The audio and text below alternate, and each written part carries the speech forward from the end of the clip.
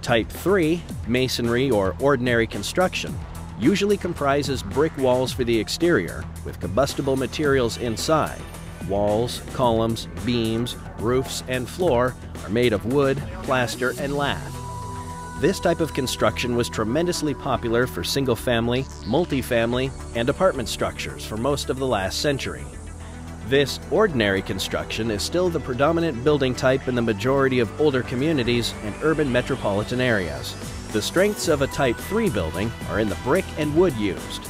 A moderate amount of fire is usually not enough to compromise the structural integrity of the building materials thanks to the surface to mass ratio of the materials used in the construction. However, a fire that has significant time to establish itself can compromise the combustible construction materials. The combustibility of materials leaves these buildings open for collapse. Fire can ignite wood floor joists and cause them to fail. Excess water from fire suppression can increase the weight in older buildings beyond the capacity of structural members. Excess loads, including firefighters on a weakened surface such as a roof or floor, can cause a sudden collapse. Fire service members must understand the signs of impending collapse. The first exterior sign is falling bricks. Watch also for large running cracks through several feet of brick or protrusions to the exterior. Floors and roofs that have bounce or spring when stepped on are additional signs of potential collapse. One other fundamental concern in Type 3 construction is the voids between the masonry walls and the studs and lath establishing the interior walls. This gap is a perfect pocket of both air and space for the fire to travel.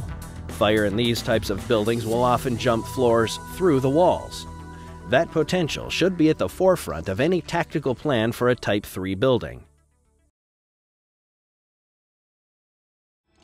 Early recognition of the building materials involved, coupled with the existing fire load, lets firefighters select a proper mode of attack or defense. The ability to detect signs of potential collapse protects the individual firefighter as well as fellow responders and civilians.